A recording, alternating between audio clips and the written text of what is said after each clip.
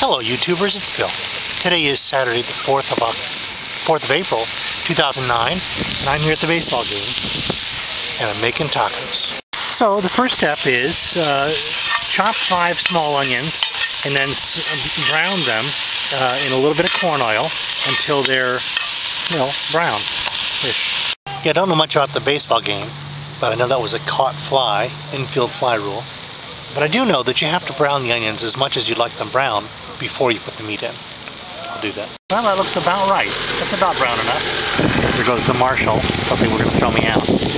But I'm good. So they're brown. Now time to add the meat. The meat I got is this pure ground beef. None of that not pure ground beef.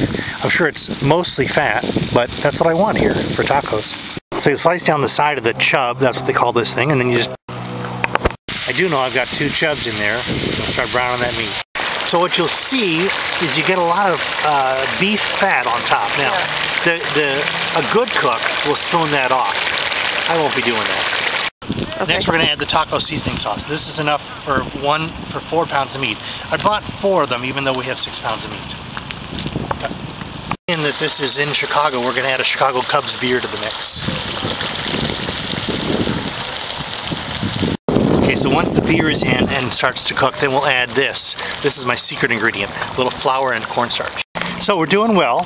So far we've got the, uh, the meat and the onions, the beer and the uh, flour and cornstarch. Now we're gonna add a little bit of diced tomatoes. I took the, the, I took the opportunity to open and drain these at home. Next comes the frijoles negros, or the black beans. They add a little bit of character to the tacos. What's on? And lastly, for a little bit of color and to know when the tacos are done going through your system, we've got a tracer element called whole kernel corn. Shows up in the poop later. Yum!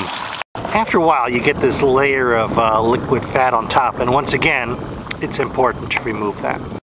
Now that's what I'd like. I like it with the crunchy taco shells and the meat fill in there, and that's good.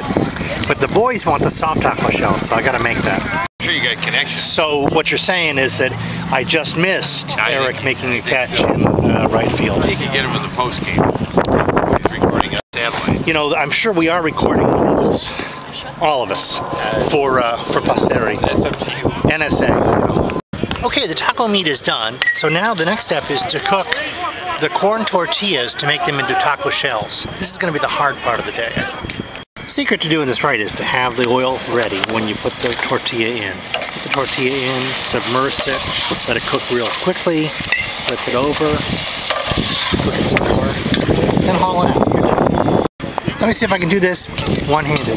Uh oh Eric's up to bat. Okay, run, flip it over, flip it over, fold it in half, hold it down, pick it out, and it's done.